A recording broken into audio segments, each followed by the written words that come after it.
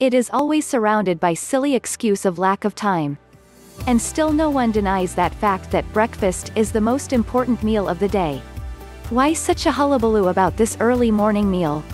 Well, for starters, this meal comes after a break of 8 to 10 hours, hence your blood sugar level will be low. Since your body has gone without food for such a long time, it needs nourishment to kickstart its day. Therefore, breakfast is considered to be an important and essential meal of the day. Breakfast benefits both young and old. It is the key to jumpstart your muscles in your day.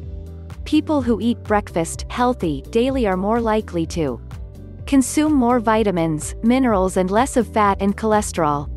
Increased strength and endurance. Better concentration and productivity all day long.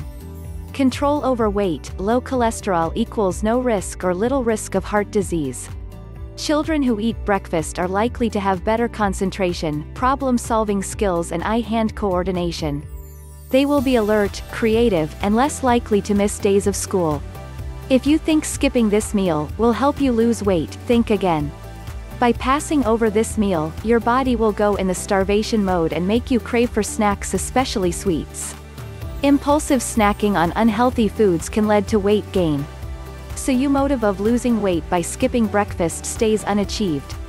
Try to choose healthy foods from at least two food groups each morning. Fruits and vegetables, grains, dairy, proteins.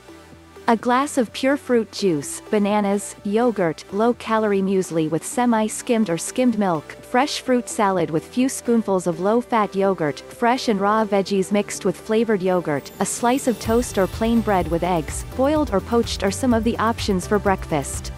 Kids can enjoy a smoothie with their favorite fruits, add dash of yogurt or honey to make it more delicious. If you look forward to eating different kinds of healthy foods for breakfast, you are less likely to skip this meal. If time is your hurdle, think about packing your breakfast or eating on the run, it's better than skipping it altogether.